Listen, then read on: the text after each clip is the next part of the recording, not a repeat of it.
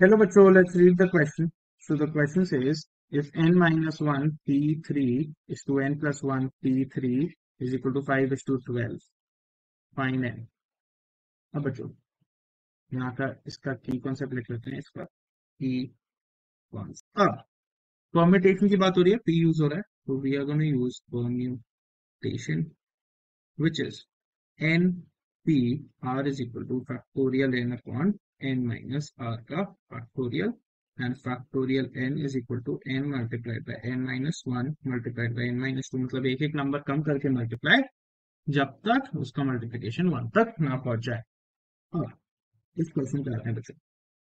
इस क्वेश्चन में n minus one P three is two n plus one P three दे रखा है five is to twelve अब पहली बात तो n minus one P three का मतलब होता है बच्चों, इसमें जो n है that is equal to n minus one अगर स्टैंडर्ड फॉर्म में देखें, और r इसमें है थ्री तो ये मैं इसको कैसे लिख सकता हूँ? अगर मुझे फॉर्मूले में पुट करना है, इसको बच्चों, n माइनस वन का फैक्टोरियल कौन में n माइनस आ रहा है तो n माइनस आर का होल फैक्टोरियल सो ये मेरा क्या हो गया?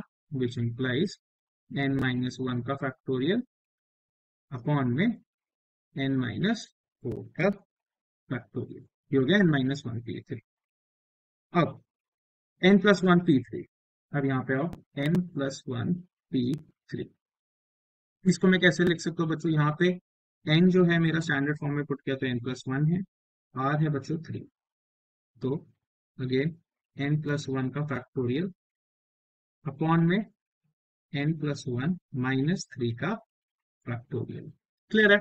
बहुत आसान है। इसको सिंप्लीफाई करा। तो हो गया एन प्लस वन का फैक्टोरियल अपॉन में एन माइनस टू का फैक्टोरियल अब मैंने दोनों को ब्रेक करके लिख लिया। अब इन दोनों का ratio five is to twelve है।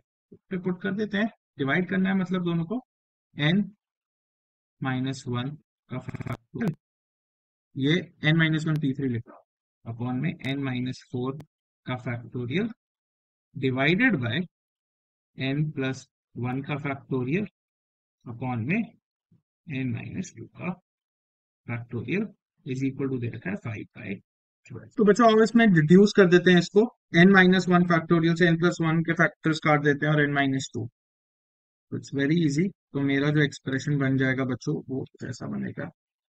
कि n माइनस वन यहाँ पे बचा मल्टीप्लाई में n माइनस टू मल्टीप्लाई में n माइनस थ्री अपॉन में n multiply by n plus one multiply by n minus one is equal to five अब, n minus one से चाहे तो n माइनस वन काट भी सकते हो तो काट देते हैं। n प्लस वन अब और कुछ काटने को बचा नहीं। तो क्रॉस मल्टीप्लाई कर दो बच्चों। Twelve multiplied by N minus two multiplied by N minus three is equal to 5 multiplied by n multiplied by n plus 1. Now, 12n minus 24. Rather, ऐसे मत करो इसको पहले अंदर मल्टीप्लाई करेंगे फिर we'll open that would be तो देखो 12 लिया मल्टीप्लाई में गया n square minus three N minus two N plus six is equal to five N square plus let's open ये बचा twelve N square minus twelve N square minus five N है। तो minus sixty N plus twelve six seventy two is equal to five N square plus five N तो इसको left hand side पे हम लेके जाएँगे। तो this is gonna be twelve N square तो सेवन एन स्क्वायर बचा। लेफ़्ट हैंड साइड पे लेके गए। माइनस सिक्सटी फाइव एन बचा।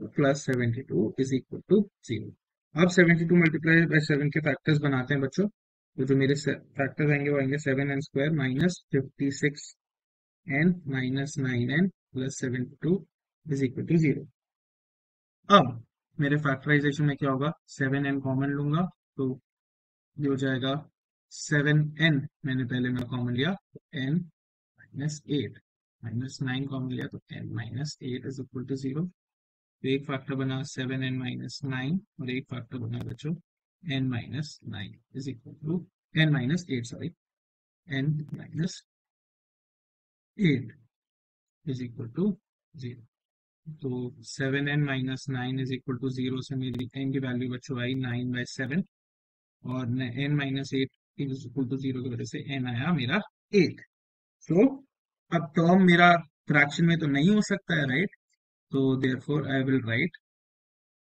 therefore therefore n is equal to 8. So the final answer is n is equal to 8. I hope you understood it well. Best